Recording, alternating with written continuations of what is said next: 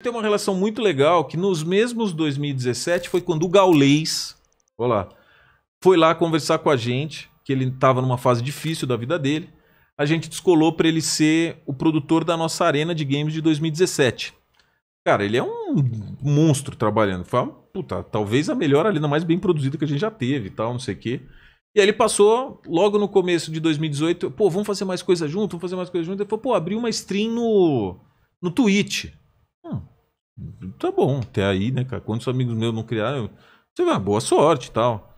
Mas sei lá, passaram-se seis meses. É, o Beto, que é o cara lá de experiência e marketing, trabalha com a gente, chegou e falou: Porra, você tá vendo as coisas que o Gal tá fazendo? Eu não, mas o Gal abriu stream aí outro dia. Ele falou: Não, ele foi outro dia aí pra Belo Horizonte. Teve, acho que, um Major de Counter-Strike. Ele deu mais, mais. Tirou mais foto que os jogadores. Aí eu fiquei: Hã? não, não, mas. É, o Gal? Mas o Gal não é mais jogador profissional. Ele falou: Não, não, não, não é como jogador. Não, mas cara, o que, que ele faz então?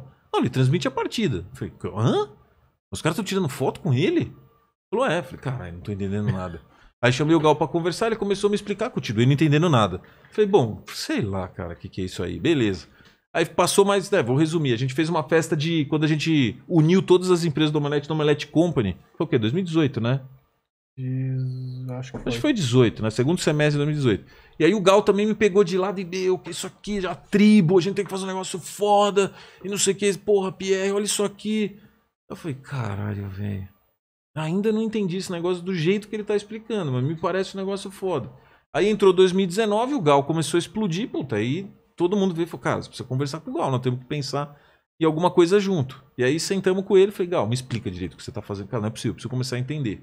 E aí ele entrou para mim e começou a falar, cara, o conceito não é só o conteúdo, é a comunidade. É. É como você está gerindo a comunidade. Eu estou prestando um serviço ficando 12 horas por dia à disposição de todo mundo. E eu levo todos os meus valores e estou junto com a galera que acredita que esses valores são importantes.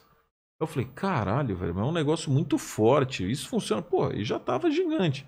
Aí chegou, a gente começou a negociar com ele, e aí em 2020, aí na pandemia, a gente fechou o deal e ficamos sócio do Gaulês.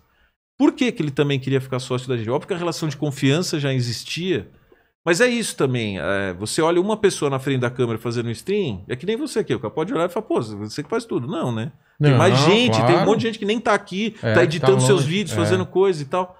E aí a gente criou toda uma camada de business por trás do Gaulês para suportar é, o crescimento e o talento dele, né? E é isso hoje que a gente faz. E aí os números são estratosféricos. Absurdo. A gente, quando ele entrou para trabalhar com a gente, ele tinha 2,5 bilhões de minutos assistidos no canal em 2019, já era o maior do Brasil. Quando a gente entrou com a nossa estratégia de conteúdo, compramos conteúdos e, obviamente, a pandemia também ajudou, porque todo mundo começou a casa, assistir. mas- é. Cara, chegou em 7,7, virou o segundo maior canal do mundo. Caramba. Falando português, porque, desculpa, Sim. competir com um É. canal em inglês é desleal. Desleal. Porque o cara tem um mercado muito inteiro, maior, é. exato. E aí foi, esse ano ainda estamos crescendo 28%. Então tudo indica que a gente vai bater perto de 10 bilhões de minutos assistidos. É muito louco, né? E, cara, é muito legal porque todos nós estamos aprendendo com o Gal, né, Pra Forlas? caramba, meu. Pra caramba. Ele, ele- E a simplicidade dele é impressionante, né? Ele vem trocar ideia.